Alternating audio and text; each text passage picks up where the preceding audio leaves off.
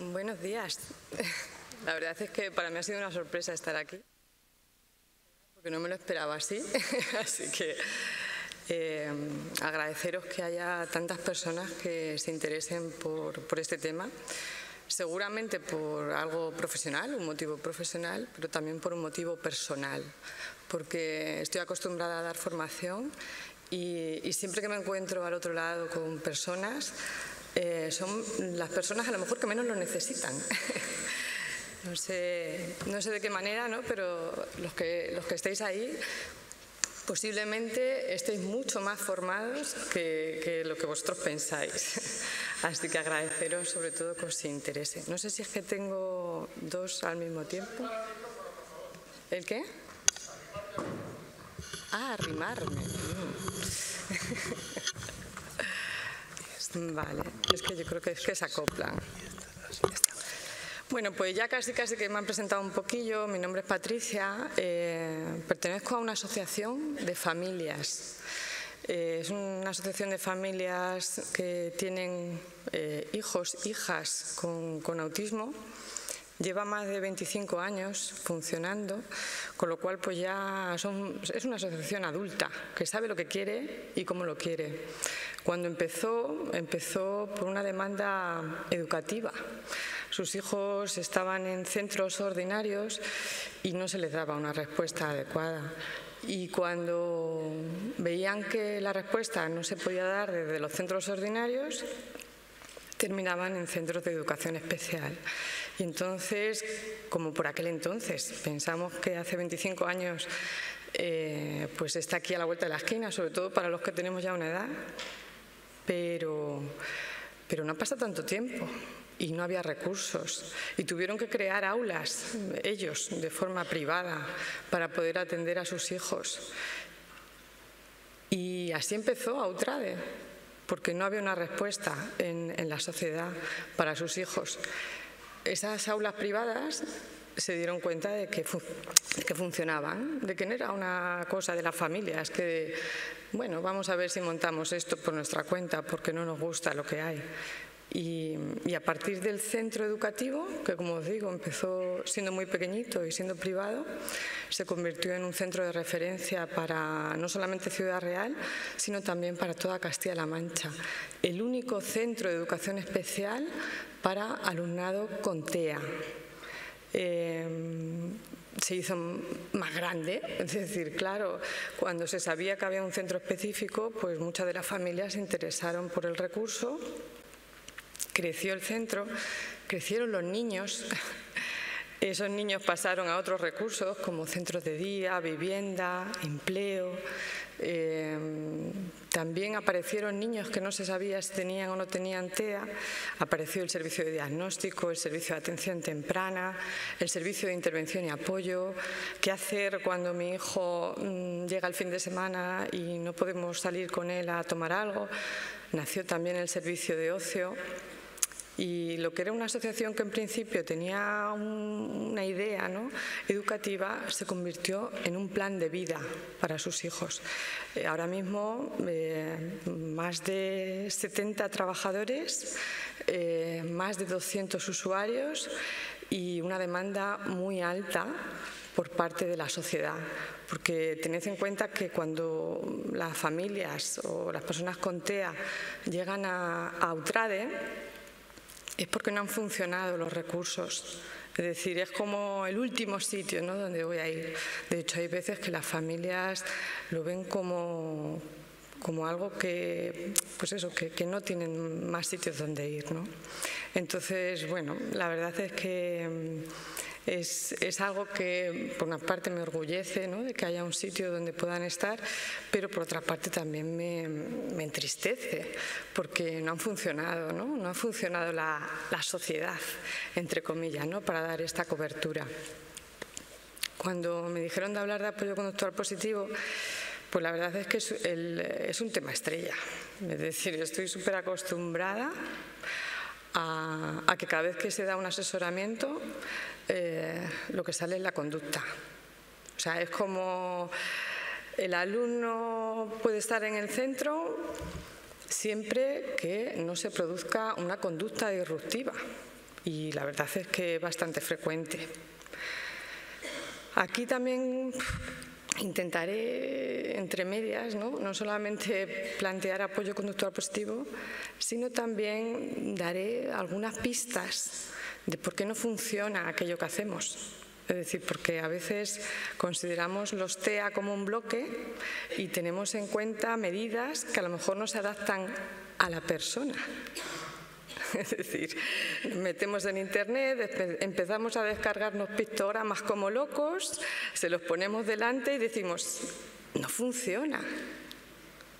Ojito con esto. Porque no solamente tenemos que conocer las herramientas, sino saber para qué las utilizamos. Pongo muchas veces ejemplos, los que alguna vez me habéis visto, de que podemos tener una caja llena de un martillo, una, llave, un no sé qué, y resulta que no lo estamos utilizando bien. Y es porque pensamos en TEA como un bloque. Y además, incluso con algunas ideas que están un poquito equivocadas. porque tenemos una idea de los TEA que a veces no coincide con la realidad. Incluso el tema del diagnóstico me parece muy importante, hacer un buen, una buena valoración diagnóstica.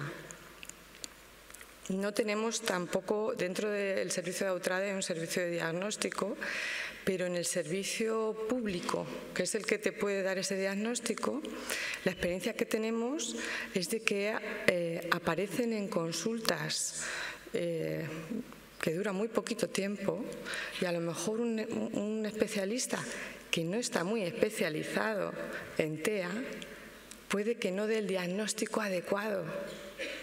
Y con ese diagnóstico, con ese bloque, con ese prejuicio, llegan a vuestros centros y ponéis en marcha herramientas y no funcionan. ¿Vale? Entonces, un buen diagnóstico es la clave también para, una buena eh, puesta en marcha de medidas porque a veces no es para tanto. Es cierto que los que eh, estáis en el día a día, porque claro, una cosa es hablar de inclusión y otra cosa es presentarse en una clase con 25. Yo digo que a veces hago de abogado del diablo en todos sitios.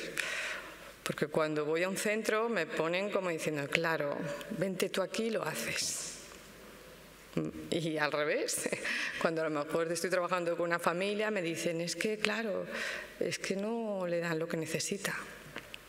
Entonces, siempre intento valorar desde todos los puntos de vista el por qué, el por qué no se está llevando a cabo esa respuesta, porque el decreto está, pero luego es decir, ¿qué pasa? Eh, los que se han quedado hoy, hoy, e, este jueves allí en vuestros centros, es decir, ¿cómo, cómo habrán llevado el día? ¿Cómo, ¿Cómo, habrán planteado? ¿Y ahora qué hago con él? ¿No? Entonces, bueno, es verdad que, que, bueno, yo voy mandando mensajes, porque tampoco mi intención es daros una información que no podáis ver en otros sitios. No me interesa contaros lo mismo que si te metes en Internet. No me interesa para nada. Me interesa que tengáis un momento de reflexión y que tengáis un momento de, incluso pensar que hay cosas que a lo mejor no habéis tenido en cuenta y con eso me conformo. ¿vale? Es verdad que bueno, venía escuchando por la radio, agradezco mucho el viaje porque es mi único momento de, escuchar radio y o, otras cosas que no son temas relacionados con el trabajo o con la familia o con preocupaciones ¿no? del día a día. Y venía escuchando por la radio eh, una, una entrevista súper interesante que, hablaba de que las capacidades que todos tenemos a veces se ven muy limitadas dependiendo de cómo nos vemos. Es decir, si nosotros sabemos, si nosotros pensamos que no podemos hacer algo, nunca nos vamos a plantear, eh, como educarnos en eso, ¿no? O trabajar en eso. Entonces, lo que tenemos que tener claro, así como algo que nos ilumine, es que solo podremos llegar aquello que esperemos ver. Si nos planteamos delante de un alumnado con TEA que solo vemos limitaciones, solo veremos limitaciones. Es decir, si nos planteamos el diagnóstico y, bueno, pues ves la evaluación psicopedagógica y todo es negativo, ¿qué esperas de ese alumnado? ¿Qué esperas de esa persona? Entonces es muy importante que tengamos en cuenta no solamente el diagnóstico, sino también lo que nosotros queremos voy a tener que beber, o sea, es un horror, pero me voy a aquella botella, que creo que es la única que no está utilizada.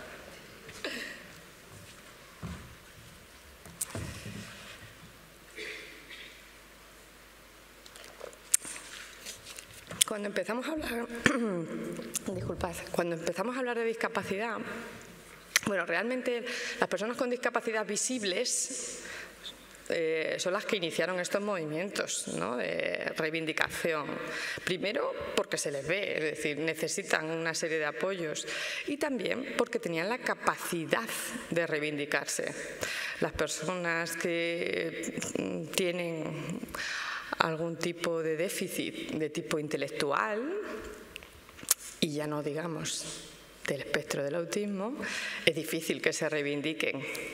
No saben, no saben. Entonces, ni nadie les ha dicho cómo hacerlo.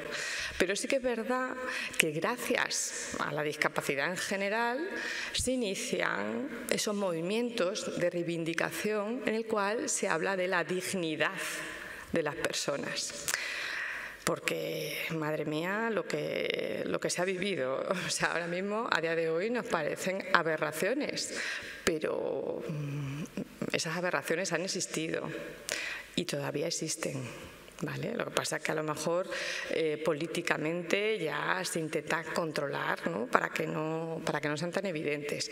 Pero sí que es verdad que por aquel entonces, y estamos hablando de los años 80, las personas con discapacidad dicen, no, yo no quiero que me traten así por tener discapacidad. Y a partir de ahí, pues hay una serie de movimientos que junto con lo que es la psicología positiva, pues hacen que eh, se planteen que los apoyos que tenemos que dar no solo y exclusivamente son para hacer de guía o, de hacer de sombra a las personas con discapacidad, sino que la necesidad que tienen real es del aprendizaje de esas habilidades para que sean competentes dentro de su entorno y esa competencia tiene que ir a muchos niveles, tiene que ser multidimensional. Esa competencia no solamente puede ser para ser competente en el colegio o para ser competente en casa, sino que tiene que ser para dar habilidades y ver que son competentes a nivel de calidad de vida. Y dentro de calidad de vida, como digo, hay muchas dimensiones. ¿Vale? Y hay que contemplarlas todas. Y luego también a nivel de calidad de vida tenemos que valorarlo de forma objetiva yo veo que este niño está cuidado, no le falta eh, seguridad, eh, no le faltan las condiciones más básicas, pero también para hablar de calidad de vida tiene que ser algo subjetivo, tiene que ser algo que piense la persona de que está teniendo calidad de vida. No basta con que los otros lo piensen, sino que también lo tiene que pensar la, persona la persona. ¿vale?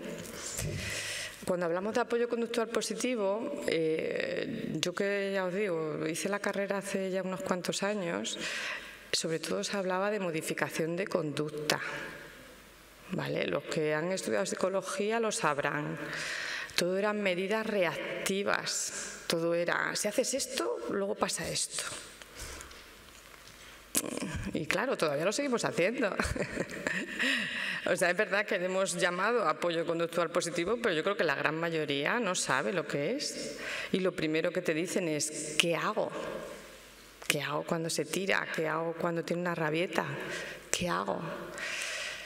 Y el apoyo conductual positivo le deja muy poquito espacio a las medidas reactivas, que son aquellas que son después de esa conducta problemática porque el apoyo conductual positivo, que el fin y los fundamentos es que se hagan en el contexto.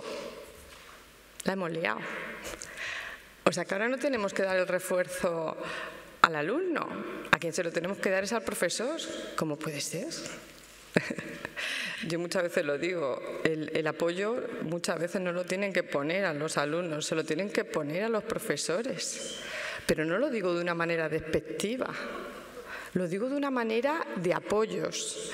Es decir, ¿cómo hago en el aula para tener 25 alumnos de los cuales alguno tiene TEA, pero sabemos que hay mucha diversidad.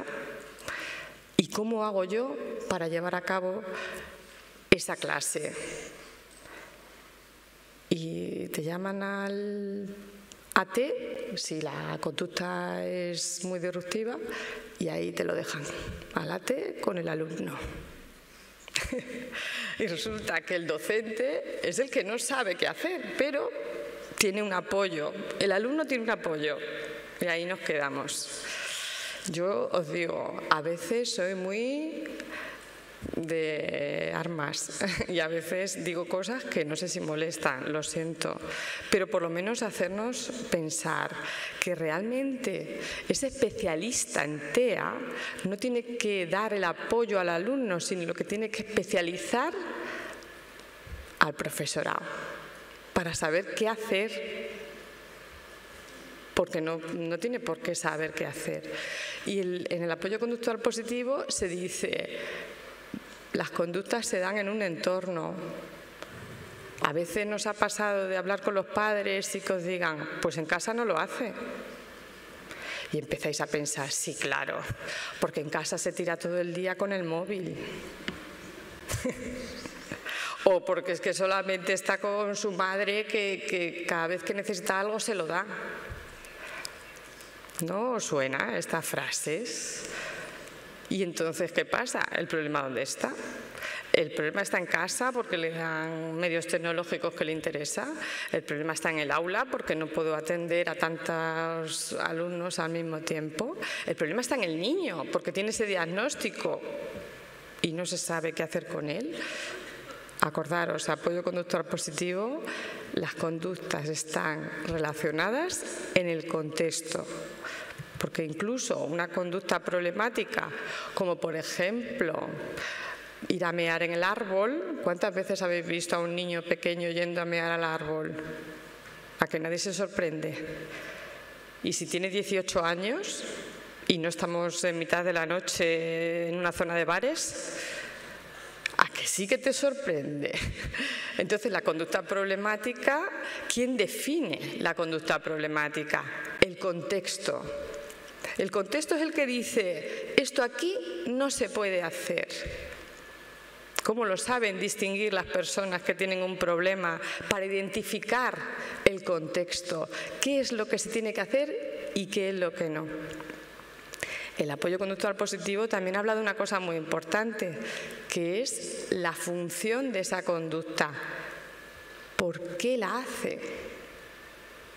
Porque todos, todas las conductas, todo lo que hacemos, tenemos un motivo para ello. Yo pondré algunos ejemplillos, porque una clase, 25 alumnos, es que quiero visualizarlo siempre. Es que quiere llamar la atención, ¿no?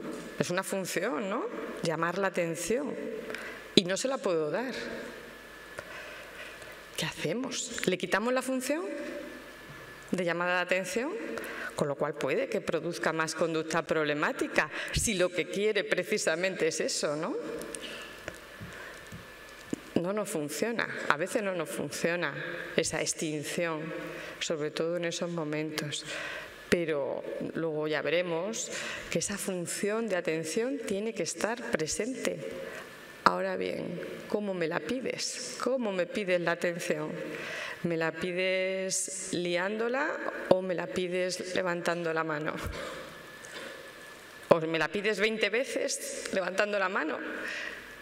¿Y por qué me la pides 20 veces? Ahí es donde tenemos que ir. Es decir, La función está en la conducta y la conducta está en el entorno. Esas son las dos claves, función y entorno. Si tenemos en cuenta esas dos cosas, nos moveremos con un modelo de apoyo conductual positivo. ¿Cómo sabemos el por qué lo hacen? ¿Alguna vez nos ha pasado? Dice, mira, he hecho todo y no me ha funcionado. incluso lo decimos, no me ha funcionado porque no estás en la función que tiene la otra persona. Por eso a ti tampoco te ha funcionado. Para saber la función de esa conducta necesitamos evaluar. Y evaluar no significa estar atenta a la clase, a los materiales, a los alumnos, a cosas que pasan, ¿no? Sino una evaluación funcional la tiene que hacer de forma sistemática. Y a lo mejor quien la tiene que hacer no puede ser precisamente el tutor o la tutora del aula. ¿Vale? O sea, evaluación funcional, el saber el por qué. Luego, cuando ponemos en marcha el plan, nos damos cuenta de que sabemos la función, pero que no solamente tenemos que ir a las habilidades de la persona, sino tenemos que ir a las habilidades de la persona, tenemos que ir a, los cambios en el entorno. ¿Vale? Entonces, las intervenciones son múltiples. Lo que os decía, el apoyo conductual positivo no se entiende como una medida reactiva solo se entiende como una medida proactiva antes de que pase. Si estamos tomando medidas después de que pase la conducta, no es exactamente apoyo conductual positivo. Será lo que hemos estudiado en psicología, que es modificación de conducta. Acordaros también de, esas claves, porque son importantes. No podemos llamar a una cosa por un nombre cuando realmente es otra cosa la que estamos haciendo. Y lo que decía, calidad de vida, no se trata de, de, que esa persona sea competente en el aula, sino que sea competente cuando sale al patio, que sea competente cuando se va con la familia y que sea competente a nivel general. ¿Cómo sabemos si estamos aplicando bien un programa de apoyo conductual positivo? Primero, que aquello que vemos que puede ser una conducta problemática se deje de dar. Pero una clave mucho más importante es que, aparte de que haya cesado esa conducta problemática, ha aumentado sus habilidades alternativas. ¿Vale? O sea, no, es suficiente con medir el apoyo conductual positivo solo si deja de dar vueltas en la clase, sino que sabremos que ha funcionado si te pide ir al baño. Importantísimo esto. Si solo nos quedamos con la de ha dejado de hacerlo, es que no estamos aplicando bien un plan positivo de conducta. ¿Vale? Entonces, esto siempre, siempre tiene que estar presente. ¿Qué es lo que nos encontramos? Que cuando funciona este plan, wow, es que se nota un montón. O sea, la conducta problemática baja y baja todo, baja el nivel de estrés en el aula, mejora eh, lo que son las competencias de esa persona, porque va viendo ¿no? cómo va consiguiendo cosas. Ya no hace falta llamar a otra persona para que te ayude en el aula porque resulta que ha pasado esto. Entonces, las ventajas son increíbles. O sea, yo cuando cuando puedo tener la oportunidad de, llevar a cabo un asesoramiento, eh, la verdad es que mm, me hace como mucha ilusión pensar que con algunas modificaciones proactivas te cambia tanto la vida, no solamente al alumno, sino también a los que están a su alrededor.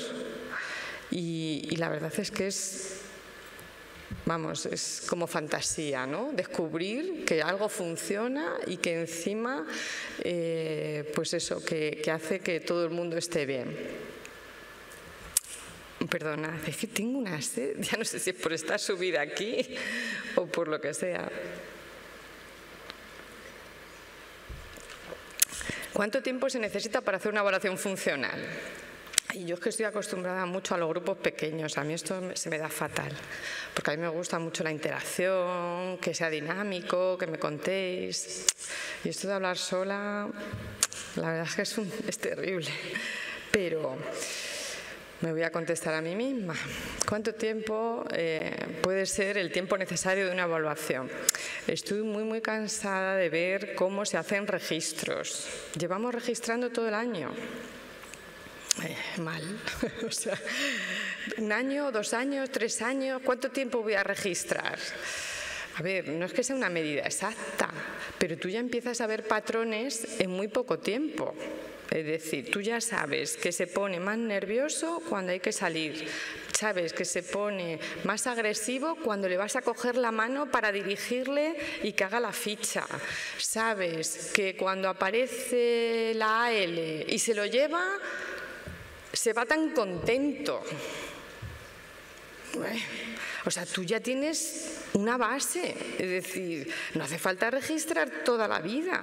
Tú ya empiezas a observar eso y cuánto tiempo es necesario en el momento que empiecen a coincidir los puntos. Es decir, anda, se ha ido tres veces con la L y se va contento. Anda, se pone nervioso cuando todos los cuando estamos en la asamblea y hay que sentarse. Y eso tú lo ves rapidísimo. Ese es el registro que tienes que hacer y ese es el tiempo que tiene que durar. Cuando veas que coinciden los puntos en los que se presenta la conducta problemática y aquellos en los que algo funciona. Ahí, ¿cuánto tiempo? Os digo, un mes ya sería demasiado. Ya sería demasiado. Eso lo sabes quitando periodos de adaptación, como puede ser el inicio de un curso, se puede saber en 15 días. Como digo, en cuanto se repitan varias veces lo mismo, varias veces, dos, tres, cuatro veces, ya vas a ver un patrón. Con lo cual, no os tiréis todo el rato haciendo esa evaluación y ese registro. ¿Qué pasa si no sabes por qué, yo no sé por qué lo hace, no sé por qué se pone nervioso, no sé por qué chilla, no sé por qué tira del pelo, ¿no? Porque muchas veces el, problema, el gran problema, es precisamente ese, el saber por qué lo hace. Ahí es muy importante que establezcamos una hipótesis, aunque nos equivoquemos, pero hay que centrarse en algo. Es decir, pues mira, si lo que le molesta es el barullo de la clase, ¿no? que esa puede ser una función, con esta, con esta idea vamos a hacer un proyecto, un proyecto de medidas pero es importante darle una función a esa conducta, aun con el riesgo de que nos equivoquemos. Podemos cambiar las hipótesis, esto no es magia, pero sí que es muy importante que establezcamos esa función de esa conducta y si puede ser en equipo, mucho mejor porque a veces tenemos visiones diferentes y en la diversidad es donde llegamos realmente al punto más ajustado, ¿vale? Los que piensan una cosa y los que piensan otra, al final la del medio suele ser como la más acertada, ¿vale? ¿Cuánto tiempo debe preverse para saber si lo que pongo en marcha funciona o no funciona? Hace muy poquito, igual, eh, yo igual que formo, me formo y hace muy poquito escuché, si llevas un mes o menos, pongo siempre el ejemplo del mes, pero bueno, imaginaros, llevas menos haciendo una estrategia y no, a veces funciona y a veces no, es que el apoyo conductual positivo no ha funcionado. ¿Vale? Acordaros también de esto. Si las tasas de conducta problemática aparecen, es verdad que se han reducido, pero siguen apareciendo, eso es que todavía no está conseguido ese plan. ¿Vale?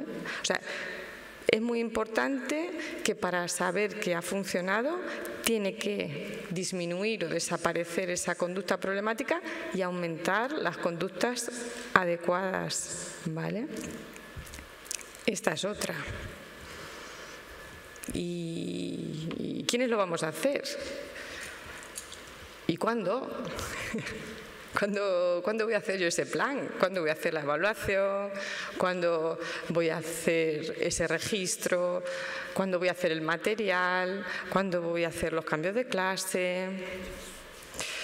Como en todo plan, tiene que haber una organización, tiene que haber un responsable, tiene que haber unos tiempos, tiene que haber unas acciones, tiene que haber una evaluación es decir, eso se tiene que ver dentro de los equipos. No basta con que tú lo tengas en clase y decir, a ver si funciona. Todo eso tiene que estar bien diseñado. Porque claro, si se deja a que saques tiempo y a ver quién lo hace, pues evidentemente nadie vamos a tener el tiempo para hacerlo, ni vamos a lo mejor saber hacerlo. Entonces es muy importante que estos recursos ya vengan dentro de, de ese plan. Igual, por experiencia, no tenemos tiempo, pero el tiempo que se consume y los recursos humanos que se consumen en las conductas problemáticas, si se midiesen, no hay color. o sea, si midieses las horas que has pasado con ese alumno individual, mm, en una sala, dándole unos apoyos que a lo mejor no eran los que necesitaba, eh, poniendo a, otra persona para que lo coja porque tiene una rabieta. O sea, si midiese realmente el consumo tan grande que tiene una conducta problemática, no hay color con respecto al tiempo que le tienes que dedicar al plan y lo firmo. ¿Dónde hay que firmar? Lo que pasa es que lo tienes que tener antes, lo tienes que tener diseñado. No puede ser que, como digo, venga, pues eh, a ver si lo ponemos en marcha. Tenemos que tener el tiempo y las personas que se van a dedicar a eso. Es muy importante tanto valorar las acciones como valorar quién lo va a hacer. Si no lo tenéis marcado, igual no funciona por unos y por otros, no por mala voluntad, ¿vale? Si presenta crisis con frecuencia, a veces entre que como digo, que si evalúas y registras, planteas la hipótesis, te reúnes para ver qué medidas vais a tomar, eh, lo pones en marcha y también lo tienes que evaluar y, todo ese tiempo, durante todo ese tiempo, siguen ocurriendo conductas problemáticas, claro, no es inmediato. ¿Qué hacer si se presentan esas conductas con mucha frecuencia? Tenemos que tener igual un plan de intervención con medidas reactivas. Es decir, igual que estamos con el plan de apoyo conductual positivo, que sería para las medidas proactivas o antes de que se dé esa conducta, igualmente tenemos que tener otro que sería un plan reactivo. ¿Vale? Y luego veremos algunas claves, porque si se presentan con mucha frecuencia, puede ser que no sea por el plan de apoyo de conducta, sino por otras razones. Y eso es lo que también tendremos que valorar. ¿Vale? Hay un modelo por ahí por internet que lo podéis descargar. Si metéis Jean Piaget, es eh, un modelo de un programa que a mí me resulta muy, muy atractivo porque está pensado para un centro educativo. Si vosotros buscáis información sobre planes de apoyo conductual positivo, hay mucha literatura, pero es para discapacidad. ¿Vale? Discapacidad. Y este en concreto está pensado para, para, centros educativos, con lo cual me resulta muy interesante porque vosotros lo podéis ver más adaptado a vuestra realidad, no a un centro residencial, a una persona muy mayor, ¿vale? O sea, entonces, como modelo, por lo menos que os sirva de guía, ¿vale? Porque ya os digo, viene como muy clarito todo lo que tendría que tener un plan de apoyo conductual positivo. Es para rellenar, es lo bueno. Existen muchas guías que te vienen con muchas herramientas que son para rellenar, ¿vale? Y eso considero que, que es interesante. Cuando hablamos del análisis funcional, que es lo más importante del plan, es decir, lo más, es decir, ¿por qué? ¿Por qué hace eso que hace? Porque a partir de ahí es donde vamos a montar el plan. Si, no hacemos este análisis y empezamos a, a poner medidas, a lo mejor eso, como os digo, no funciona. Entonces, lo más importante es saber la hipótesis, o sea, tener una hipótesis de la función en, la, en la que como base vais a programar lo que es esta intervención. ¿Qué se sabe? Que dentro de esas hipótesis, quizá la que es la clave es la hipótesis comunicativa. En más de un 90% de los casos, los problemas de conducta vienen por déficit en esa comunicación, por esa falta de habilidades a la hora de comunicarse. Y esa hipótesis es importante. es decir, si veis que dentro de vuestras aulas tenéis un alumno con, dificultades en la comunicación, que sepáis que va a ser casi milagroso que no tenga una conducta problemática. Casi milagroso. ¿Por qué? Porque es que a ver cómo te lo comunico. Es que a ver cómo te comunico que me duele algo. Es que a ver cómo te comunico que me aburro. es decir, la comunicación es la base, la base del programa y es la primera hipótesis que también os tenéis que plantear a la hora de hacer un plan de apoyo conductual positivo. Si le dais herramientas a ese alumno o a esa alumna de comunicación, ya os digo que solo con eso vais a mejorar una barbaridad. De aquí me surgen también algunas dudas, porque es verdad que yo vengo por TEA, es decir, estamos hablando de alumnado con TEA. Pero es que confundimos a veces diagnósticos porque un TEA como tal, sus problemas de comunicación no son trastornos del lenguaje, se llama comunicación social. Ojito con esto. Porque claro, no es lo mismo, no es lo mismo no saber cuándo pedirte ayuda que no poder decir ayuda no van a ser las mismas medidas las que tengamos que tomar. Y eso es muy importante. En el caso de los alumnos con TEA, el problema no está en el lenguaje, está a la hora de valorar la comunicación con el otro.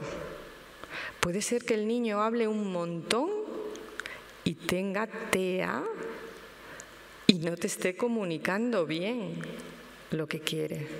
Ojito con esto, porque a veces estos, precisamente estos TEA son los más difíciles a la hora de valorar sus necesidades comunicativas. Es mucho más fácil ver un niño sin lenguaje y plantearte que el problema, claro, lo tiene en la comunicación. la persona con TEA, diagnóstico TEA, puede hablar, puede hablar. Lo que pasa que cuando se comunica verbalmente, y sobre todo a nivel de comunicación no verbal, no es lo que vosotros esperáis. Y Él no sabe lo que vosotros queréis. Con lo cual tenéis que ser muy explícitos y muy concretos. Y ahí es como se trabajan las habilidades comunicativas en TEA, haciendo explícito la comunicación social. Pero ¿qué es lo que pasa y qué es lo que me suelo encontrar? Que el TEA tiene muy mala leche y a veces se junta mucho con otro primo de la discapacidad que se llama trastorno del lenguaje, que no es TEA, que es un primo. Pero claro, cuando se presenta el trastorno del lenguaje con el trastorno del espectro autista, ¿qué tenemos? Personas que socialmente no son habilidosas, TEA, con personas que no tienen herramientas para comunicarse, TEL, trastornos del lenguaje. Y esto es muy, muy importante que discriminemos, porque a la hora de buscar herramientas no van a ser las mismas. A uno les tendremos que dar una comunicación o unas estrategias alternativas o aumentativas y a otro le tendremos que dar herramientas sociales. A veces se juntan y ese es el problema, que os encontráis con alumnos con varios diagnósticos. No es el TEA, TEA más su primo. Acordaros de esto. Por eso a veces resulta que a un TEA sin problemas de lenguaje, sin un primo, le presento el pictograma y no funciona. ¿Estoy trabajando la comunicación social o estoy trabajando un trastorno que no tiene? Ojito con esto. ¿Y qué pasaría si ese niño o esa niña resulta que solo tiene un trastorno del lenguaje?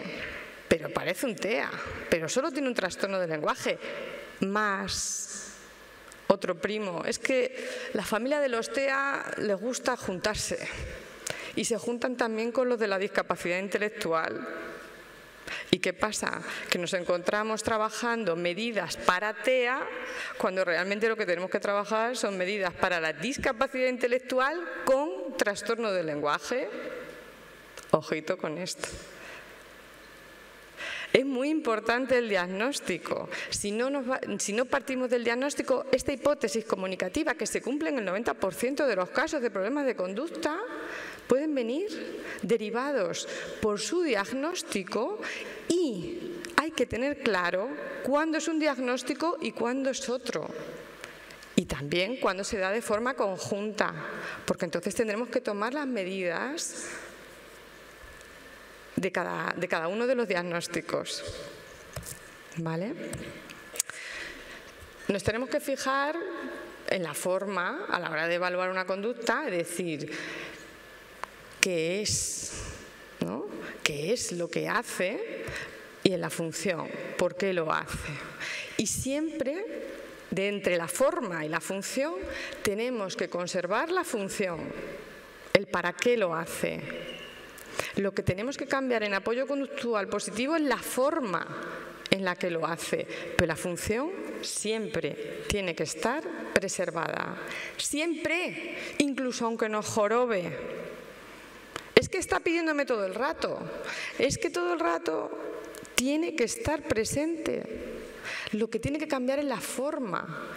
¿Cuántas veces me lo pide? ¿Cómo me lo pide? ¿Qué hago si no me lo pide? Pero lo que está claro es que esa función tiene que estar siempre. Y eso de verdad si no, no funciona el plan. Si le quitamos la función a la conducta, esa conducta súper problemática, súper disruptiva, si le quitamos la función, lo que estaremos haciendo es tapar un agujero y saldrá al poco tiempo con otra forma. ¿Cuántas veces ha pasado? Es que tiene conductas obsesivas. ¿Y qué hago? Se lo quito. y entonces empieza a tener conductas obsesivas con otra cosa. Anda, le voy a quitar todo. Como decía una familia que su hijo estaba obsesionado con los números y con las señales de tráfico. Y dijo, pues nos vamos a ir al campo. Y dijo, madre mía, nunca hubiese pensado que había tantas señales en el campo. No puedes evitar la función, no puedes evitar todo. Lo que tienes que buscar es darle la función, pero de otra forma. ¿Y qué funciones puede haber? Lo que os decía de la hipótesis comunicativa, pero sobre todo, ¿qué funciones todo ser humano, no un TEA, no un niño. ¿Qué funciones tenemos cuando nos movilizamos aquí hoy? Es decir, ¿qué, buscáis? ¿Conseguir algo? ¿Qué buscáis? Evitar estar en vuestra clase. Es decir, ¿qué evitáis y qué conseguís? Es la clave, la clave que tenéis que, buscar y dar, sobre todo, a ese, a ese niño. ¿Vale? sobre todo conseguir o evitar. Lo de la búsqueda de atención en autismo complicaete lo veo. ¿Vale? Lo digo porque es que, es que, quiere llamar mucho la atención. Pensad en el trastorno como un trastorno de la comunicación social. Ellos, si quieren llamar tu atención, es porque están haciendo otro tipo de demanda, que no es atención. A lo mejor es que quiere que le ayudes, a lo mejor es que quieres que le quites esa tarea o que evite esa tarea. Pero así como así, que una persona con TEA quiera buscar tu atención, Ojito porque esa hipótesis no suele funcionar en TEA. Cuando al TEA le das los apoyos que necesita, te buscará, pero no será exclusivamente para tu atención. Podrá ser con otros motivos, pero no será para buscar tu atención. Las personas con TEA, por diagnóstico, tienen dificultades para eso. Es decir, no, quieren que tú les prestes atención porque sí. De hecho, a veces se molestan cuando le guías, cuando estás todo el rato diciéndoles y llamándoles y estando con ellos, acompañándolos. Con lo cual es importante que normalmente lo que quieren es conseguir o evitar, igual que nos pasa a cualquiera de nosotros. Algo muy importante en TEA, que también es muy desconocido, súper desconocido, y que tiene que ver con la parte biológica. algunas veces cuando oigo que el TEA no es una enfermedad, que el TEA no tiene cura, es real, pero es que nos pasamos al otro extremo. ¿Qué es? ¿Algo psicológico? ¿Es que están en su mundo? ¿Es que quieren que les demos cariñitos? o sea, realmente una persona con TEA tiene un trastorno del neurodesarrollo. Y acordaros del neuro. Es decir, es algo neurológico, no es algo que haga porque ha aprendido. ¿Vale? Eso es muy importante saberlo. Y algo que también hemos comprobado es que las personas con TEA, aparte de la comunicación social y los intereses restringidos y conductas a veces repetitivas, aparte de eso, y aparte de tener muchos primos, como os digo, trastornos del lenguaje, discapacidad intelectual, déficit de atención y hiperactividad, también tienen muchos problemas físicos. Ahí estamos, en investigación, es decir, por qué una persona con TEA presenta enfermedades más frecuente que la media. Y son enfermedades muy invisibles, problemas de salud de tipo gastrointestinal, ¿Vosotros sabéis de aquí a quién le duele la tripa? Es decir, tú viendo a una persona sabrías que le duele la tripa. Y si esa persona no te puede comunicar que le duele la tripa, y si esa persona no sabe que le duele la tripa, porque también a veces hay un trastorno que tiene que ver con la propia mm, valoración de tu cuerpo, de lo que es la información que te está diciendo tu cuerpo. Entonces, si le sumas problemas de tipo orgánico, puede ser que ese niño que a veces se presenta hoy que está fatal, puede ser un problema de tipo médico. Con lo cual, lo primero no es porque tiene TEA.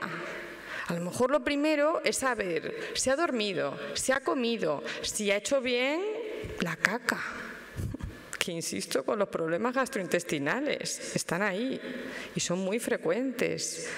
Si hace tiempo que no va al dentista o no ha ido nunca, ¿vale?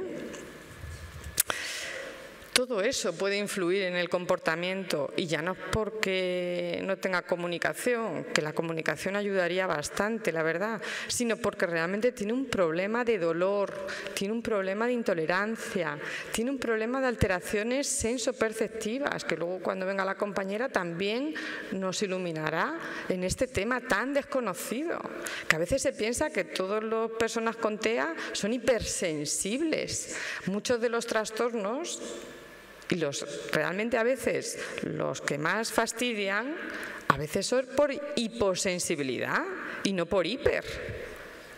Es decir, que a veces tenemos como una idea del TEA que, que no es real. ¿Vale? Entonces, es muy importante tener en cuenta que estas alteraciones sensoperceptivas, que son típicas precisamente de un trastorno del TEA, pueden estar mediando en esa conducta. Efectos de la medicación. ¿Qué batiburrillo de medicación tienen algunos? Si es que no se hacen pruebas. Va el médico, la familia, le dice, pues es que hoy está muy nervioso, le dan una medicación. Normalmente es psicofarmacología. La psicofarmacología tiene muchos efectos secundarios. Para cualquiera que lo tengáis en casa o que lo veáis, es una pasada. Y todo esto también les influye y puede influir en su conducta.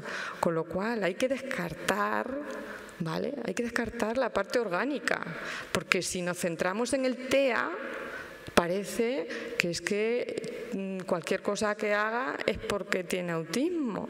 Y a lo mejor es como cualquiera de nosotros, como os digo, cuando tenemos un dolor de regla. Es decir, primero descartar lo orgánico y luego vamos descartando otros temas. Temas que tienen que ver con el entorno. Eh, bueno, hoy hace frío, pero aquí sobre todo los que vivimos en la Mancha Manchega, ¿cuánta diferencia puede haber entre las 8 de la mañana y las 2 de la tarde, por ejemplo? ¿Sabéis que una persona con TEA, muy TEA, si va con una chaqueta y se la sube hasta aquí, no se la quita hasta que no vuelve a casa. Lo sabéis, los que lo tenéis. ¿Qué pasa cuando hay 20 grados de diferencia entre las 8 de la mañana y las 2 de la tarde? Eso vosotros lo veis como algo evidente, ¿no? Quítate la chaqueta y sigue con la chaqueta, sudando a chorros. ¿Vale? Efectos del entorno. Hace calor. Incluso los que tienen alguna hipersensibilidad y tienen que quitarse ropa porque resulta que su madre le ha puesto ese día un chándal precioso pero pica y se lo tienen que quitar. Y entonces hace frío, se lo han quitado, se constipan, infección, pa, pa, pa, pa, pa efectos del entorno, que tienen que ver con los cambios. Cuando hablamos de cambios en el entorno físico, normalmente a no ser que tengamos un poco de espectro, normalmente nos, lo vemos algo como con ilusión, ¿no? Los cambios. Es como, ¡hala! Te has cortado el pelo. Mira, yo me lo, me lo cambié hace cinco días. Hay gente que no me reconoce. Pero dice, bueno, los cambios, los cambios en el entorno. Para una persona que está dentro del TEA, y esa parte no la hemos hablado, porque hemos hablado de la comunicación social, pero no hemos hablado de la parte de intereses restringidos y comportamientos repetitivos. Las personas con TEA no quieren rutinas. Otro mito igual. Vamos a ver si todos los días hacemos lo mismo. Y cuando un día nos sale, ah, entonces es que... Qué rígido. Vamos a hacer todos los días lo mismo. Eso es un mito.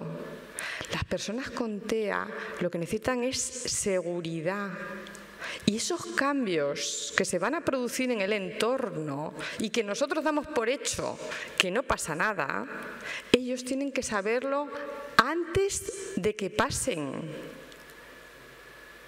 La vida cambia. Cambia la clase, cambian los alumnos, cambian los grados de temperatura. La vida cambia continuamente. Y ellos tienen que estar preparados igual que estamos nosotros para ese cambio. No hay que hacerlo rutinario, hay que informar de ese cambio. ¿Y qué pueden hacer si bajan los grados de temperatura? Nos podemos bajar la chaqueta. Pero esos cambios en el entorno, a ellos si no se les anticipa y no se les hace partícipe de lo que ellos tienen que hacer, porque imagínate que le dices, que mañana va a haber una fiesta de Navidad, ahora que llega las Navidades, dentro de nada. Parece que acabamos de empezar el curso y ya estamos preparando la Navidad.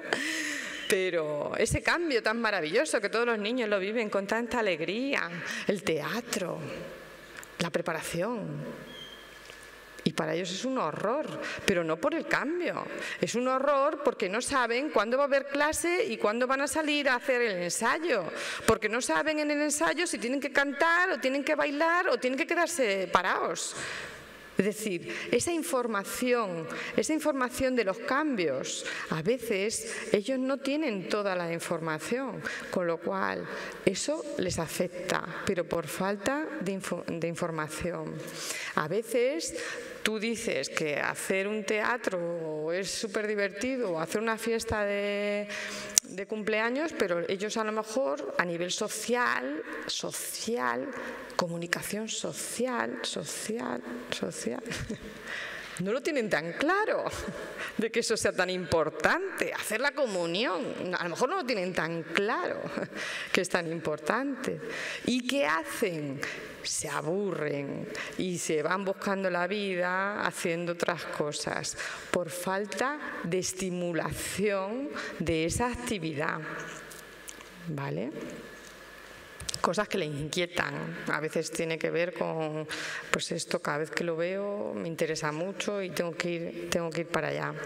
Luego, es verdad que cuando se da un TEA más discapacidad intelectual, o un, retrato, un retraso del desarrollo, dependiendo del momento en el que esté, a veces los contenidos no se adaptan a la persona,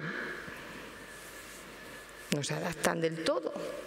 Y entonces, ¿qué pasa? Pues que son tareas que son muy exigentes, que para ellos eh, les cuesta llegar a hacer lo que le estás pidiendo. Luego hay veces que si, por ejemplo, tienen otro primo del TEA, que es el TDAH, acordaros que todo esto que os digo, trastornos del lenguaje, trastornos del espectro autista, el retraso madurativo, la discapacidad intelectual o los TDAH, son todos viven en un vecindario que se llama del neurodesarrollo. Acordaros de esto, porque es que es lo que os digo, es que se juntan mucho. Como viven en el mismo barrio, a veces se juntan también con los trastornos de aprendizaje y entonces ya la tenemos montada, porque claro, ves sumándole cosas que tienes que tener en cuenta a la hora de hacer el apoyo conductual positivo. ¿Qué pasa antes? ¿Qué pasa después? ¿Qué pasa antes? ¿Qué pasa después? Eso es algo que tenemos que tener contemplado, tanto para la evaluación funcional como para el tema de respuesta educativa, de qué vamos a hacer. Es muy importante no tener en cuenta de que eso lo hace pues, lo típico, porque es que tiene, es muy listo, tiene muy mala leche, es que mira cómo sabe. ¿Vale? Todo muy relacionado con la persona, ¿no? Y lo que tenemos que entender dentro del apoyo conductual positivo es que tenemos que dar más peso a aquello que pasa afuera, es decir, de la persona, pero también aquello que pasa, pues como digo, en su plan de trabajo, en el entorno, en un posible cambio que no se le ha anticipado, ¿no? Con, con suficiente antelación. Hay veces que si no hacemos bien un plan de conducta, lo que estamos es reforzando esa conducta negativa y a veces lo hacemos con la mejor intención, pero tenemos que tenerlo muy claro que a veces esto lo que, lo que cae es en que se siga produciendo una y otra vez, una y otra vez, ¿vale? Como os digo, para prevenir con, con apoyo conductual positivo no puede ser después de que se haya dado, sino más bien qué hacer antes de que se dé la conducta. ¿Vale? Como no podemos hablar de función de esa conducta o no podemos hablar de una planificación de apoyo sin tener en cuenta el diagnóstico. Insisto mucho en esto. El diagnóstico siempre tiene que ser de comunicación social, comunicación social y una conducta de tipo eh, con déficit, tanto a nivel de función ejecutiva. Acordaros que la función ejecutiva tiene muchas patas. La función ejecutiva es planificar. La función ejecutiva es saber lo que estás haciendo, es supervisarte. La función ejecutiva tiene que ver con la flexibilidad. Lo hago de esta manera, pero también lo puedo hacer de otra. Tiene que ver con la inhibición. Es que me gusta mucho esto, pero sé que ahora no puedo. Tiene que ver con la memoria de trabajo. Esto lo aprendí hace tiempo y me va a venir bien hacerlo ahora. ¿Vale? Función ejecutiva, coherencia central. Las personas con TEA ven eh, la información del entorno de una forma particular, solamente ven los detalles y es a lo que le dan importancia, con lo cual todas las medidas que tengamos que hacer para esa modificación de contexto tiene que tener en cuenta la comunicación social y también tiene que tener en cuenta lo que es la función ejecutiva. ¿Vale?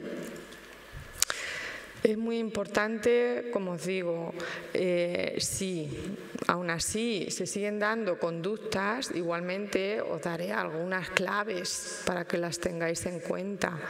Es muy importante que se actúe bajo un protocolo, es decir, si ocurre un, problema, eh, no puede ser, cógelo, eh, vete para allá, no le hagas caso, no sé qué, eso tiene que ir dentro de su programa, de su protocolo de actuación, ¿vale?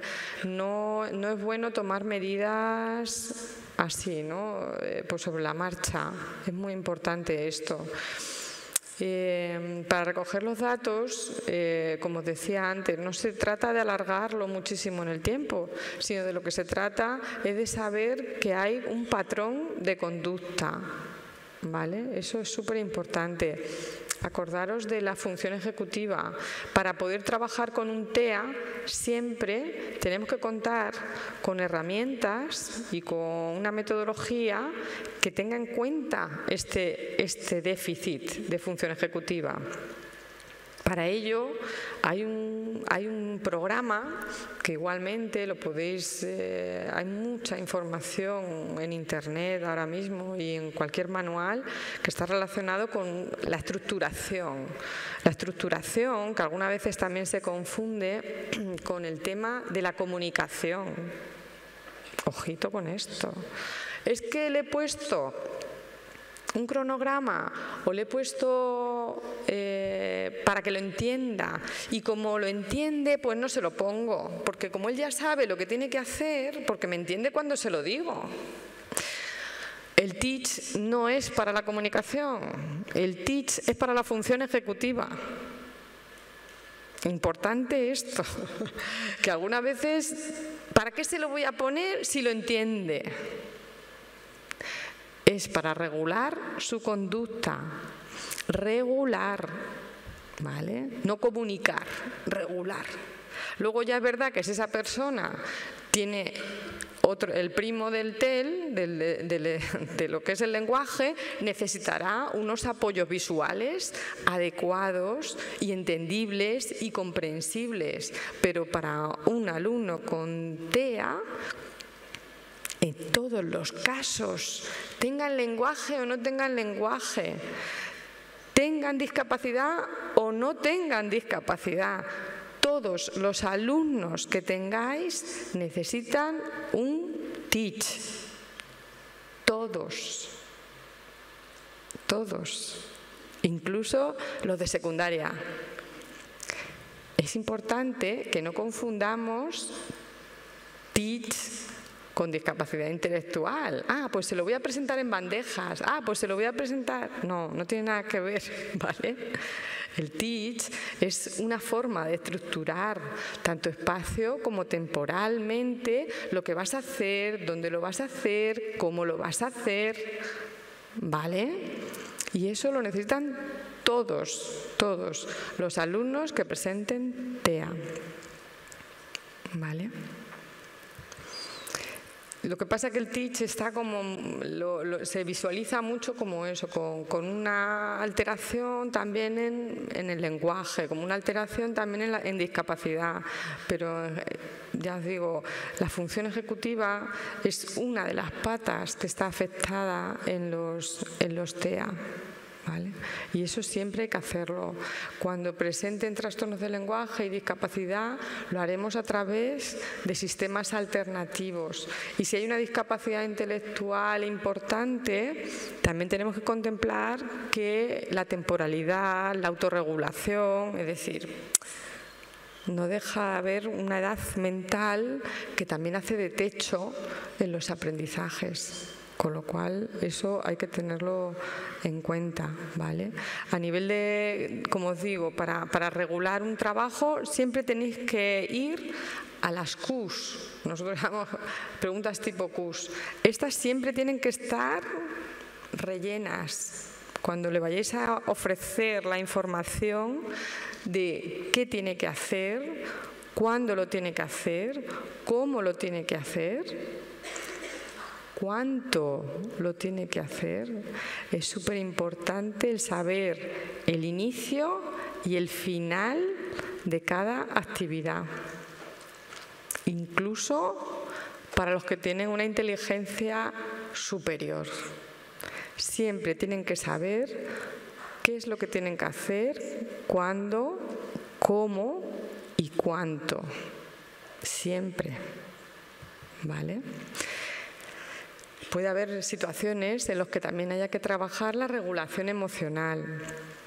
Hay programas muy básicos, que son reconocimiento de emociones, pero también a veces fallan.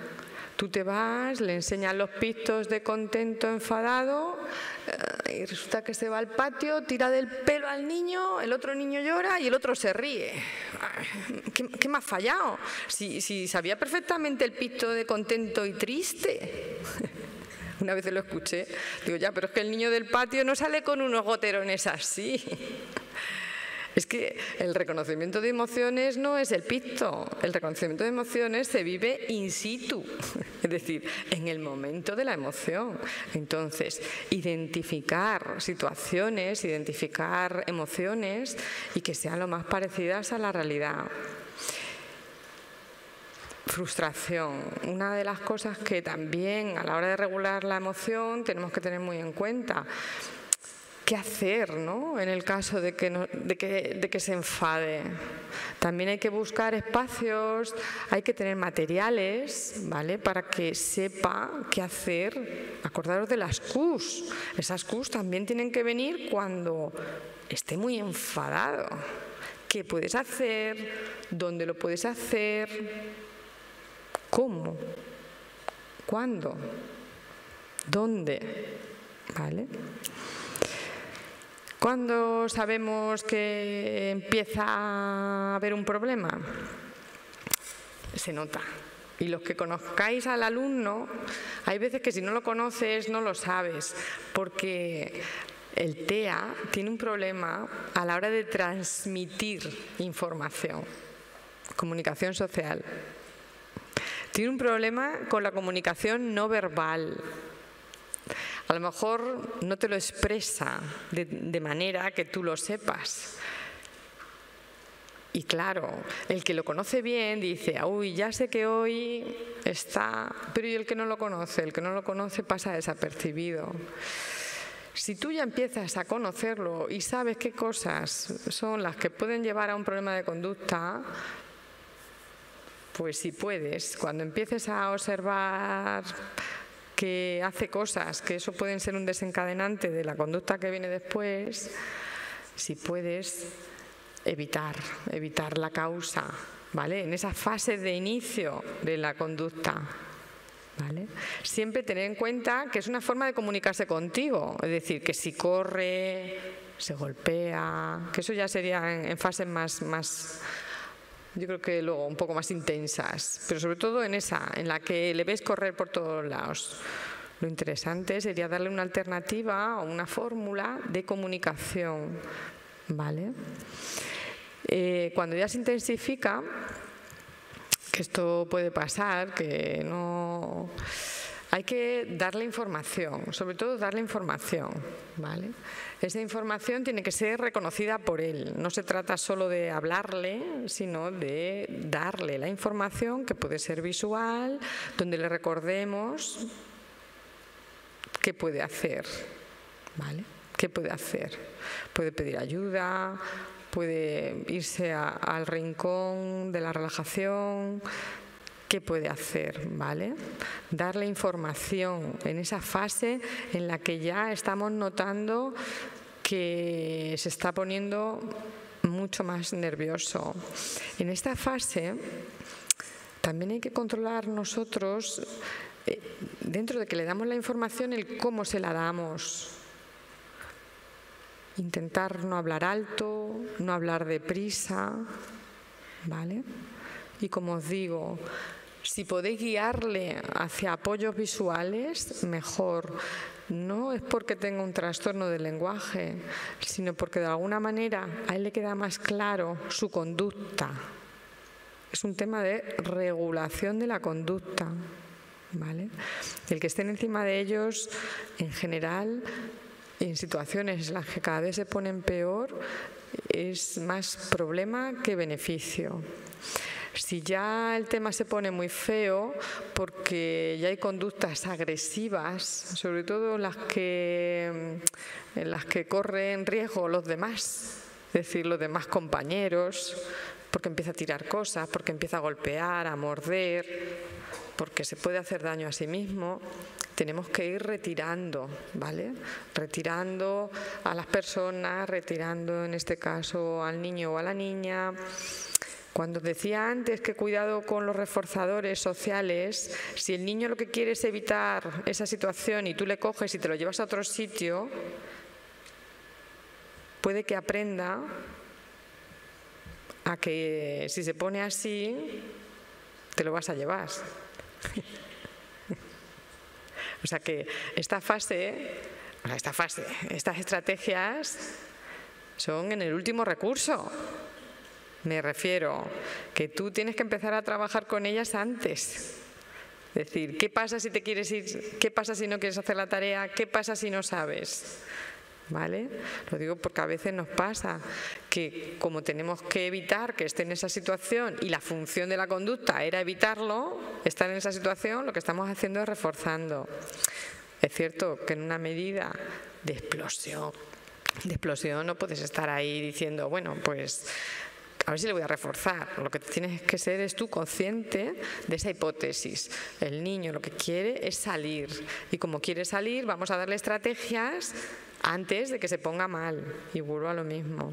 Para volver otra vez a su sitio, para regresar a la normalidad, para volver otra vez a hacer la actividad, pues vamos dándoselo, dosificándoselo poco a poco, ¿vale? Hasta que se haya calmado.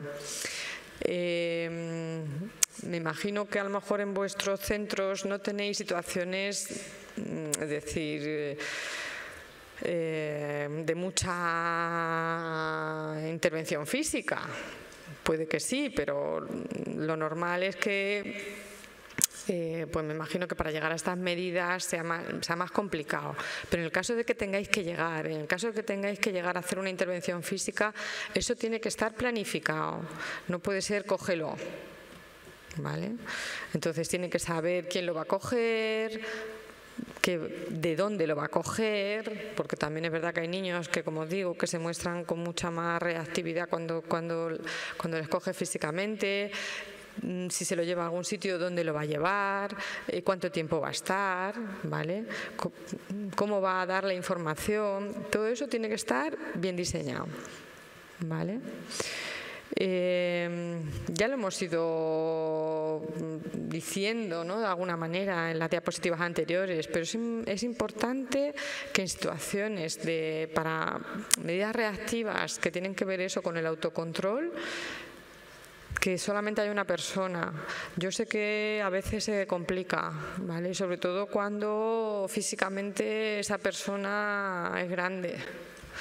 Pero en el diseño tenéis que intentar que sea una persona la que, la que haga esa labor de apoyo en, situaciones de este tipo. El que tenga más experiencia, el que tenga más formación, eh, y que sean lo más breves posible también, ¿vale?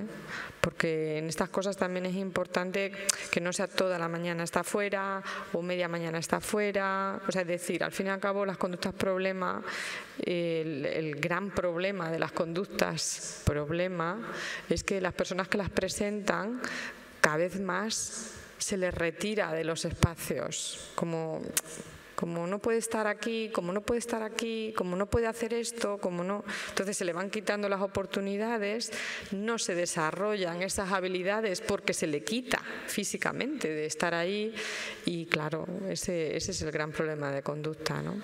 Mucha formación eh, y no solamente en conducta y herramientas para la conducta, sino más formación en diagnóstico porque de verdad la clave también está en reconocer qué motiva a, ese niño a hacer esas cosas, es decir, por qué se puede dar. Entonces, más información en diagnóstico, más formación eh, en temas relacionados con, todo lo que os he dicho de sistemas eh, alternativos, en el caso de que sea para un trastorno del lenguaje, pero sobre todo formación en cómo trabajar la comunicación social, que es la clave. Acordaros, el 90% de los casos, las problemáticas vienen por temas de comunicación. Entonces, trabajar, informar y formar a los profesionales en comunicación y comunicación social y también formar a los profesionales en herramientas de ayuda y de apoyo cuando se dan problemas de regulación de conducta y de regulación emocional. O sea, yo creo que esa es la clave para que funcione el apoyo conductual positivo. El saber, el saber, el previo, porque esa es la clave del apoyo conductual positivo. Saber el diagnóstico, saber eh, qué sistemas de comunicación son adecuados para cada persona y sobre todo trabajando la comunicación social y saber qué herramientas son buenas para organizarse en el tiempo, para saber qué es lo que tienen que hacer y cómo lo tienen que hacer. Y esa sería como la clave que tenéis que contemplar. Esto es una ficha que tendréis dificultades para verla o no, porque es, muy... Eh, tiene mucha letra y está como muy abigarrada. Pero es para que vosotros tengáis eh, también una medida de evaluación en vuestros centros para saber si vais a poner en marcha un plan de apoyo conductual positivo, si tenéis o no tenéis los medios para hacerlo, ¿vale? Los conocimientos. Es decir, antes de empezar, tengo información sobre todo esto y como digo, son preguntas de sí o no, sí o no. Y eso es lo que te va a dar claves para eh, poder decidirte por un plan de apoyo conductual positivo y sobre todo que ese plan tenga garantías de que funcione. Saber si funciona o no funciona, como os he dicho, que aumenten las conductas alternativas y que se reduzcan o desaparezcan las conductas problemáticas. ¿Vale? Tenemos que contemplar en el plan toda esta información para saber cómo es el seguimiento, ¿vale? Como digo, estos son preguntas, preguntas que, os tenéis que hacer mm, para situaros, para saber si se puede o no se puede hacer en vuestros centros, quién va a participar, eh, cómo van a participar, eh, cuándo. Acordaros de las funciones ejecutivas. O sea, para hacer un plan hay que hacer todas las preguntas y rellenar todas las preguntas Q. Y bueno, la verdad es que como estoy un poquillo desorientada, no estoy muy segura si me he pasado o no he llegado. No tengo reloj, aquí no pone nada, no sé, Juanjo. ¿Eso qué significa? Que tengo diez minutos más. O sea, que me, voy a enrollar diez minutos o, o podemos pasar a la siguiente. ¿Cómo hacemos? A ver, es cierto, dime, dime. Ajá.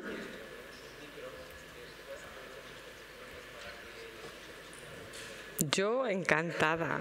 Si alguien quiere participar, porque lo digo, esto es como una especie de tortura. O sea, entre los focos. El, el estrés. Me has dicho que te gustaba que la gente participara. Me encanta. Ojalá, ojalá. Contadme casos. No sé.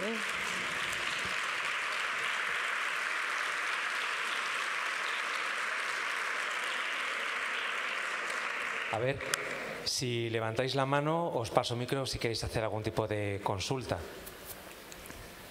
Pensad de verdad en, personas reales, como digo yo, no, no en la teoría, sino en las personas de verdad.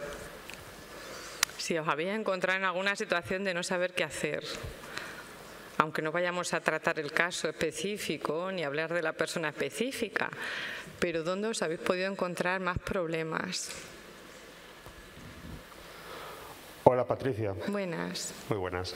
Eh, mira, un caso, una chica de unos 17 años me preguntan en un momento dado los padres que qué pueden hacer. Tiene TEA leve, muy leve. Eh, no sabía hasta hace poco ella eh, que lo tenía, pero sí sabía que tenía tratamiento psicológico desde hace ya bastantes años. Eh, me preguntan los padres que cómo hacer para que se duche una vez a la semana, por lo menos. Porque ven que es que de todas las formas que han intentado eh, no, no son capaces de, hacer una rutina dentro de, higiene eh, dentro de la vida familiar. Venga, vamos a por ello. Parece que estoy haciendo un consultorio. Vale, adolescencia.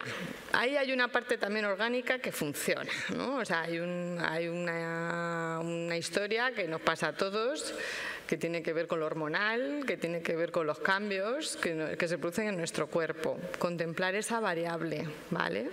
Porque más allá de que tenga TEA, puede pasar en el resto de adolescentes de 17. Es decir, que también es algo a tener en cuenta. Luego está que tiene eh, un TEA leve. Nosotros identificamos los TEA por niveles de apoyo, no por la levedad del TEA. ¿Vale? Lo digo porque puede haber confusión a la hora de plantear el TEA. es decir, claro, eh, aparentemente no va a necesitar muchos apoyos, entiendo el leve como eso, pero sí que se tiene que describir dónde están sus dificultades, porque para saber que es de nivel 1, que sería el nivel TA leve, el nivel 1 implica que esa persona tiene esas dificultades en la comunicación social, importante, porque acordaros que la comunicación social no es verbal. La comunicación social es estar aquí, en este sitio hablando.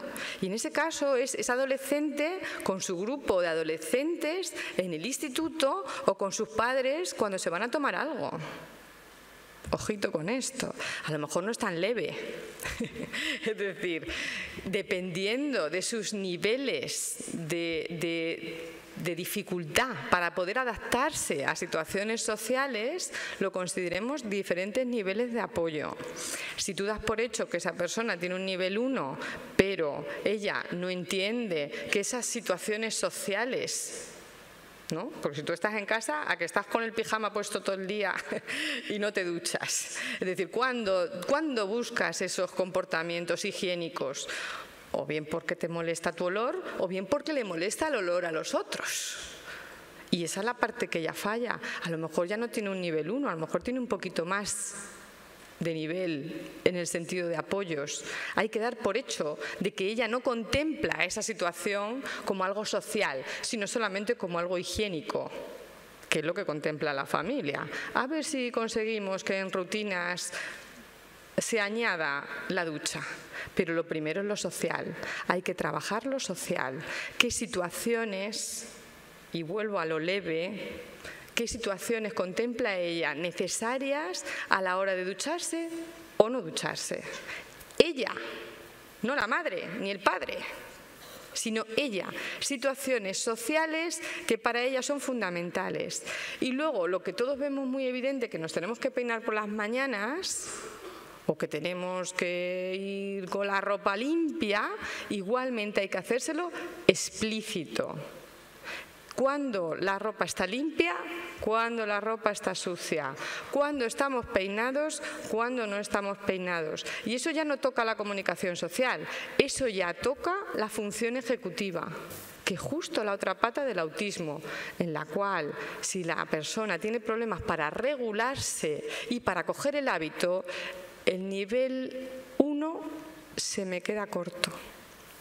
Con lo cual ya estamos partiendo de un diagnóstico que posiblemente no esté muy adaptado a su realidad, porque necesita más apoyos de los que en un principio se han planteado. Social, establecer qué situaciones sociales son en las que falla, vinculadas a la higiene, e higiene, cómo llevar a cabo una higiene con todas las preguntas cuándo te vas a duchar, cómo te vas a duchar, cuántas, cuántas veces, ¿vale? Durante la semana, una vez al día, todo eso tiene que estar por escrito. No basta con decírselo, estoy harta de decírselo, ya lo sabes, lo he dicho mil veces. Todo tiene que estar por escrito, todo. Acordaros de la función ejecutiva y acordaros de la función social, que es la que está afectada. Esas dos cosas seguro, la parte adolescente seguro. Y hay algo que también tendríamos que contemplar que no tiene que ver con trastornos del neurodesarrollo y que tiene que ver con un trastorno de la salud mental que podría ser un trastorno anímico. Ojito, ¿cuándo es cuando no nos apetece ni ducharnos? Cuando estamos de bajón. Y eso no tiene que ver con el TEA, ni con su nivel de apoyos. Entonces, ir descartando cosas, dándole apoyos sociales para saber cuándo tiene que hacer las cosas socialmente adecuadas, dándole apoyos en función ejecutiva, cuándo tiene que hacer esa ducha y cómo la tiene que hacer, contestando a todas las preguntas, tener en cuenta la adolescencia y por último, ver si solamente se hace ese tipo de conductas disruptivas en la ducha o resulta que tiene muchas más cosas que a lo mejor a la familia no le resultan tan importantes, pero que lo que se detecta es un trastorno de tipo psicológico que tiene que ver con el estado de ánimo.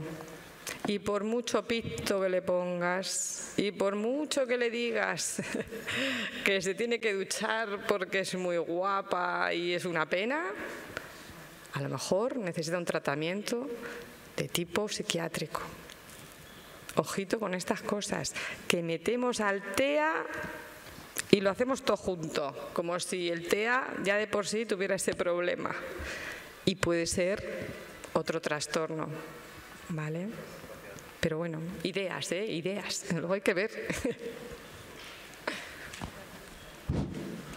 Hola, yo te quería eh, plantear un problema sin nombre, pero muy concreto, yo creo, sobre todo en secundaria. Y te lo planteo en tres, en tres momentos. El primero es algo que tú has insistido mucho a lo largo de tu intervención. El diagnóstico. Suelen llegar a los centros de secundaria con poco, nulo y a veces muy mal diagnóstico. Y no sé por qué, desde muchos puntos de orientación se tiene o se tiene miedo o pasa algo. Bueno, no, es el momento de decirlo ahora, yo creo, pero se dice siempre, se soluciona con no queremos etiquetar. Entonces, ¿cómo intervenir si no hay?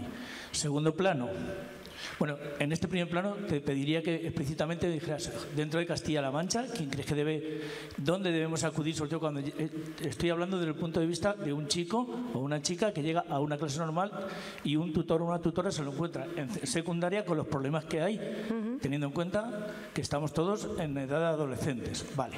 Segundo plano, se debe intervenir, tú has dicho también, cuesta mucho trabajo intervenir sobre los otros, los que lo van a decir. A veces, sobre todo yo creo que en un primer momento es muy importante que las personas que lo van a acoger, es decir, los distintos grupos, que sabéis que en secundaria no es un grupo solo de referencia, sino que hay muchísimos cambios a lo largo de la mañana. Entonces los grupos que van a intervenir más con este chico o esta chica estén preparados, si lo crees adecuado, porque va a haber muchas disrupciones y no entienden, sobre todo cuando son casos que tienen mm, que no tienen otras afecciones, como han dicho, que es un caso puro de, de TIA y que además puede ser ligero, pues se acaba... Otro, otro ligero. Eso es. se acaba incluso por parte del profesorado diciendo es porque quiere, puede hacer esto, lo hace porque quiere, no, no lo hace por... Y entonces es la lucha.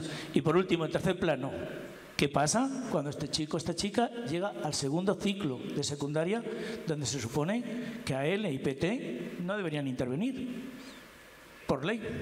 Y ese es un problema que todavía nuestra administración no ha solucionado y que nos lo dicen aquí, nos, nos cuentan eh, cosas que a veces son muy bonitas escritas en los papeles, pero se nota que quien las ha escrito mm, no, ha ido, no ha ido no las ha vivido día a día. Es decir, imagínate que además yo, tutor, tengo que decir, oye, es que tu chico hace, o tu chica hace esto, mi chico no, que es de todos, y es del centro. Pero es que me estropea la clase de matemáticas todos los días, o me hacen no sé qué. O tal. Es decir, esos tres planos me gustaría que...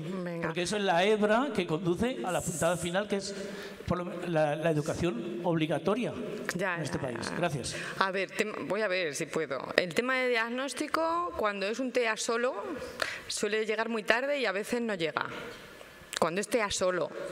Claro, si me pones un TEA, como lo que digo, con un vecindario entero de discapacidad intelectual, más trastornos de lenguaje, más TDAH, ese llega enseguidica. Enseguida todo el mundo le pone el título, que es un TEA y que necesita muchos apoyos y que está muy afectado y le ponen todos los apoyos del mundo. Pero claro, un TEA solo, ¿quién se da cuenta de si mira, no mira, que resulta que cuando tiene que pedir ayuda no la pide, que resulta que no, es un chaval que no se organiza? Ese puede ser cualquiera de los alumnos de primaria. Es decir, el TEA en sí a veces es muy, muy difícil de detectar. El TEA, lo que se detecta es el TEA más TEL, TEA más, TDAH, TEA más, discapacidad intelectual. Entonces te llega a secundaria sin que nadie le haya puesto la etiqueta. Y es normal. Y es normal, porque es muy invisible el TEA. Solo que cuando llega a secundaria esos apoyos ya no existen de forma natural como en el cole. Es decir, están mm, más solos, entre comillas, y empiezan a aflorar los TEA. Pero no porque antes no lo tuvieran, sino porque habían pasado desapercibidos. Tiene que ser un nivel 2 o un nivel 3 para que se den cuenta en primaria de que hay un TEA. Un nivel 2, un nivel 3. Por eso me sorprende esos niveles bajitos, porque normalmente son niveles altos que cuando llegan a secundaria se les nota mucho. Se les nota mucho. ¿Por qué? Porque esas estrategias de comunicación social no funcionan. Y esas estrategias de qué hacer cuando tienen cinco clases, cuando tienen que irse de un lado para otro, cuando suena la alarma, cuando los chavales se juntan para hablar de fútbol, es decir, ¿Cómo poner estrategias? Ahí el apoyo, igual que decía que a lo mejor en infantil o en primaria tendría que estar el apoyo para el profesor y no para el alumno, en este caso en secundaria el apoyo tendría que estar para el alumno a lo mejor y no para el profesor. Y mira lo que estoy diciendo, a lo mejor es una locura, pero es que ese entorno para él es mucho más hostil de lo que ha sido el cole. Entonces, ¿existen dispositivos para hacer diagnóstico público? Sí. Eh, ¿Se diagnostica a esos TEA con nivel 1? No. Llegan a secundaria verdes, o sea, con esa sensación de que nadie ha intervenido, de que nadie los ha acogido, de que empiezan a presentar problemas de conducta, de que los el profesorado y bullying que es una pasada el bullying. Yo mm, no tengo datos y soy muy exagerada, pero te puedo asegurar que todos tienen bullying, todos, todos. Lo que pasa que no se detecta. No se detecta, porque ellos no van a ir a decir me están puteando, porque tienen un problema de la comunicación social. ¿Cómo van a ir a decirte eso? Y sobre todo, ¿Cómo van a hacer esa, esa, conducta, ya no más que social, sino por función ejecutiva? ¿A quién se lo digo? ¿Cuándo se lo digo? ¿Cómo se lo digo? Es decir, es una pasada, eso es una pasada. Entonces, diagnósticos desde los equipos de orientación se puede hacer una evaluación psicopedagógica, no un diagnóstico clínico. Y eso es un debate que yo llevo muchos años mm, a caballo entre educación, la clínica, la, sociedad. Es decir, y es un debate que se tiene en los coles. ¿Qué hago con este alumno? Yo no puedo diagnosticarlo, pero que tampoco puedo ir a su pediatra ni puede ir a un psicólogo de la unidad de salud mental porque tampoco le diagnostica. Y al final terminan en entidades como las nuestras que actualmente no podemos porque tenemos una saturación de casos que no os podéis ni imaginar de diagnóstico.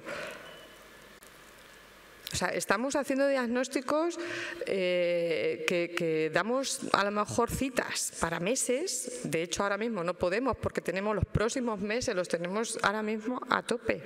Y estamos entregando informes mucho más tarde porque no hay dispositivos de, diagnóstico. Y una asociación al final no puede hacerse cargo de todos los uno de cada 68 que hay con TEA. ¿Lo entendéis? Entonces, más diagnóstico, eh, más prevención en secundaria, porque es donde hay más vulnerabilidad para un TEA mucho más prevención, mm, como digo, dispositivos que sean exclusivos para, la persona con TEA, es decir, que se le informe cuando llega, si ha sido detectado, que ese es el problema, pero que existen unos eh, recursos específicos dentro del centro para dar esos apoyos. Eso, por ejemplo, cuando ya han pasado la etapa secundaria, si la pasan, porque muchos acaban en la cuneta, de lo educativo, en la cuneta de la formación profesional, pero no de verdad, sino de voy a hacer este curso y luego este curso y luego este curso y luego este curso, ¿vale? Acaban a nivel educativo en la cuneta, pero sí que cuando llegan a la, universidad hay algunos dispositivos para ayuda al alumnado que vienen muy bien. Pues mi propuesta sería hacer ayuda al alumnado, pero también en, en secundaria y sobre todo con conocimientos de TEA, donde le puedan dar esas orientaciones al alumno que ha tenido la capacidad de poder llegar hasta secundaria a nivel académico, pero que no tiene la habilidad social y de función ejecutiva que le requiere esa etapa adolescente, que ya es muy exigente. Ya no hay una tutor, un tutora que te esté diciendo lo que tienes que hacer continuamente. Entonces, es una propuesta apoyos en secundaria a través de unidades que sean para ese alumno, ese alumno que sepa detectarlo, porque el problema es que ni lo sabe él ni lo saben los demás. Claves que, pudieseis tener los equipos mm, para saber diferenciar un TEA. Es decir, aunque no sea un diagnóstico, pero sí que por poder diferenciar qué, qué alarma puedes tener cuando tengas un alumno de estas características y que de ahí puedas seguir ¿no? con, con, el hilo para que, para que lleguen. Porque mm, un TEA, como os digo, eh, más allá del drama social que viven en esa etapa, luego es que es un drama para toda su vida, porque no, no llegan a tener una formación ni, ni luego una capacitación laboral. O sea, cuando, cuando pasa la obligatoria están Muchos, muchos abandonados, muchos. Esos TEA de leves, precisamente, los listos, los que de pequeñitos era como, ¡uh! ¡Qué listo es mi hijo! Esos son los que luego están abandonados con 25. los listos. Entonces, bueno, yo, yo soy muy, muy dramas también a veces, pero, pero me, gusta transmitiroslo, que, hay que hay que anticiparse, no solamente con el apoyo conductual positivo, sino también con la prevención desde, desde infantil y desde primaria. Y, mucha importancia al diagnóstico. El diagnóstico es la clave. Si no estamos dando palos de ciego, pero hay que poner más dispositivos. Hoy por hoy no hay. Hoy por hoy no hay.